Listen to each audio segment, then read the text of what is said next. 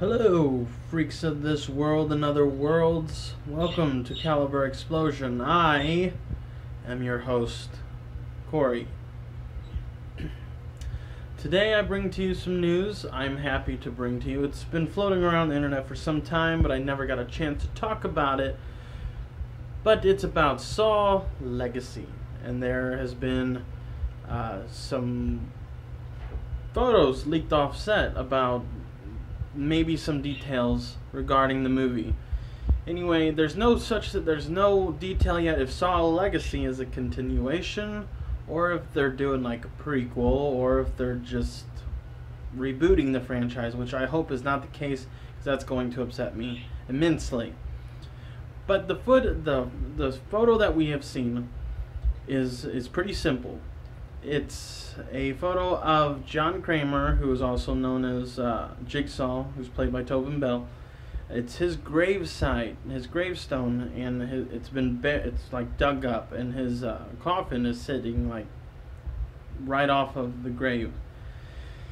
Which leads me to believe a couple things, which is like either FBI, forensic, and all that dig up John Kramer's body for more evidence, considering in Saw 4 when, you know, they found the tape in his stomach for Detective Hoffman. Or it's just something that, since this is a legacy, we might have a copycat killer of Jigsaw himself, and he's using Jigsaw's body as some type of ritual thing, and saying that, like, the torch is being passed on to whoever is now involved. Which, if this is the case, I have some beef. Because a couple years ago, I wrote a fan fiction called Saw colon Rebirth, which basically played out the same way.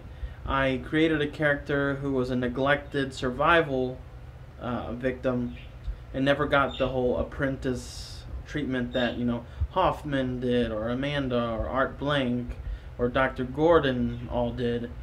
So he takes matters into his own hands years later after, you know, the Jigsaw events have ended and now Dr. Gordon is kind of like laying back now that Jigsaw's final words and his his uh, work is finished with uh, throwing Hoffman away and basically locking him in a hole and throwing away the key. If that's the case, I don't know how I'm going to go about that but it's definitely my words that I wrote. And I'll be excited if it's like that because it means I'm thinking the same way that all the Saw writers and producers and directors are thinking. And it's like, why not give me a job? Because obviously we're all on the same page. But for right now, that's all we have of Saw Legacy. Uh, it's very, very minimal uh, information but I hope it's enough to kind of hold us over to whenever we get a trailer, which I assume will probably be early next summer. Who knows? I'm excited. The Saw series is one of my favorite series in the horror genre. So I'm excited what they do with it.